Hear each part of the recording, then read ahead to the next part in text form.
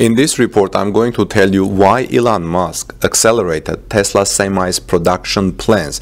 This is simple. It's following rival Nikola's strong IPO. Welcome back, friends. This is Armen Hareyan from TorqueNews.com. If you are here for the first time, please subscribe to our channel because this is a developing story and we keep our finger on the pulse of Tesla semi stories. If you are interested in Tesla, Tesla semi, or Giga Berlin, or anything related to Tesla and electric cars. So, after a memo from CEO Elon Musk of Tesla urging staff to prioritize production of the commercial truck Tesla semi was leaked on Tuesday evening, the Tesla shares rose to an all-time high over $1,000 this morning when the market opened this morning on Wednesday. According to Reuters, Elon Musk sent a note to staff following the very successful IPO of zero-emission startup Nikola Motors, which plans a lineup of battery-powered and hydrogen fuel cell-powered commercial trucks starting next year. Phoenix based Nikola's market capitalization surpassed Ford's and on Tuesday after announcing a reservations date for a small pickup truck despite company projections that it wouldn't even reach 1 billion in revenue until 2023. Nikola accused Tesla earlier of copying the design of one of its trucks in a lawsuit that is ongoing. Both companies borrow their names from famed electrical engineer Nikola Tesla.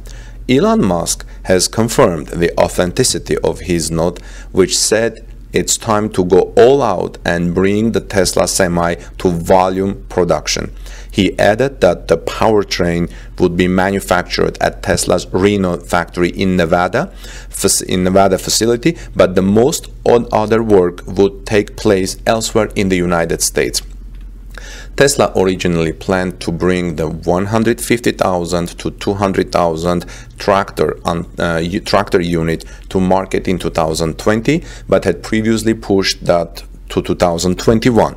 Elon Musk's note did not clarify when volume production would be achieved. Tesla also promised the truck would be available, the semi truck would be available with ranges from 300 to 500 miles per charge and be able to accelerate to uh, 60 miles per hour in 20 seconds at the maximum allowed weight of 80,000 pounds. Both companies claim to have billions of dollars worth of reservations for their commercial trucks. Now, what happened is that remember several days ago we provided the Nikola Motors business prospects and and what happened there is that Nikola expected to break through the trucking industry and grab market share from the big boys with three main products. The Nikola Tre will be the first to go to the market. The Nikola 2 and Nikola 1 will follow Nikola 3.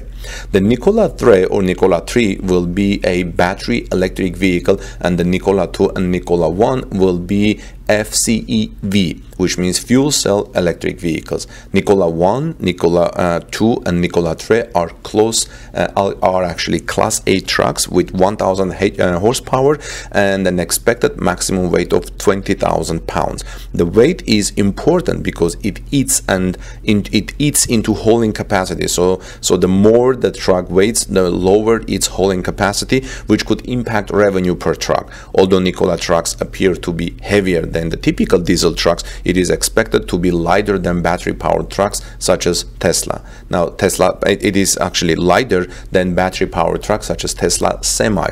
Now, since yesterday, Nikola had a very successful IPO Tesla, it, it's not uh, uh, surprised that yesterday evening, Tesla CEO Elon Musk uh, sent that memo saying that, which it confirmed that it wants the uh, acceleration of semi-truck by Tesla uh, because Tesla doesn't want to yield the market share to anyone, especially you know um, Daimler is a big truck company, truck semi-truck maker that needs to look at these things. Um, it looks like the electric trucks are going to be the future.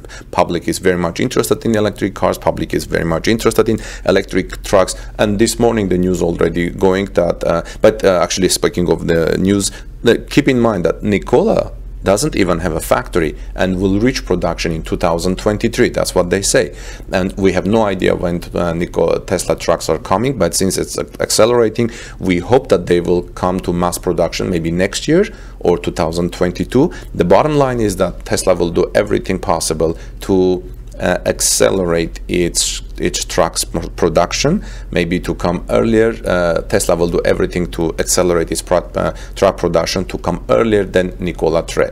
Well, friends, let me know what you think about these developments. What you think? Could you compare Nikola Tre and Tesla Semi in the comments? Let's talk about their advantages and disadvantages. You know, let's look at for let's let's let's do an honest comparison. I know a lot of people in this uh, Torque News community are Tesla fans, but let's let's look at the advantages of Nikola Tre because we would like to have uh, right information. We would like to have uh, uh correct information and uh, and see how these two trucks compare with each other, Nikola Tre and Tesla Semi.